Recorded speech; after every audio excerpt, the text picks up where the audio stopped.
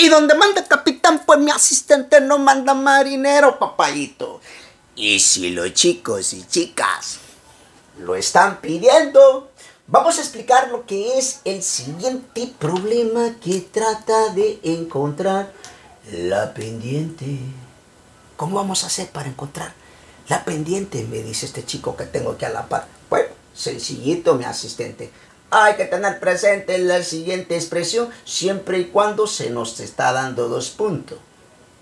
Bueno, a que nosotros digamos m, que sería la pendiente, va a ser igual a y sub 2 menos y sub 1 sobre x sub 2 menos x sub 1.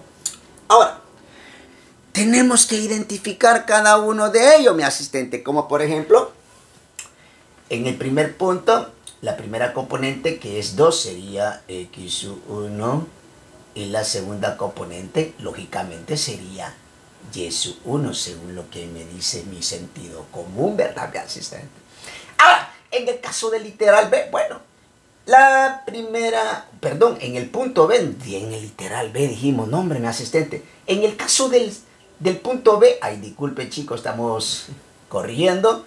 En el punto B, en la primera componente sería X sub 2 y la segunda componente sería Y sub 2. No, hombre, si nosotros nos entusiasmamos acá, ¿verdad, mi asistente? Hasta cometemos errores, pero lo importante es que los chicos saben el piquetazo que nosotros estamos haciendo, ¿verdad?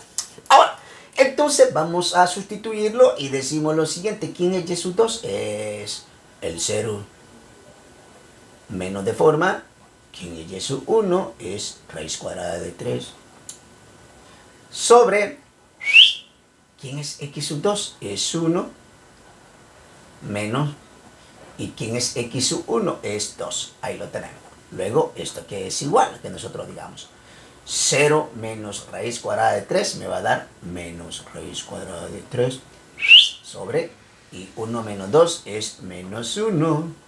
¿Y esto a qué va a ser igual? A que nosotros digamos, menos entre menos da más, me va a quedar positivo y raíz cuadrada de 3 entre 1 me quedaría raíz cuadrada de 3. Eso significa que si nos decía hallar la pendiente de la recta que pasa por los puntos, lo que me está dando acá, su pendiente es igual a la raíz cuadrada de 3. Bueno, pues te video, like y compártelo. Si todavía no estás suscrito a mi canal de YouTube, te invito a que te suscribas. Dios te bendiga y buena suerte con tus ejercicios. Chao.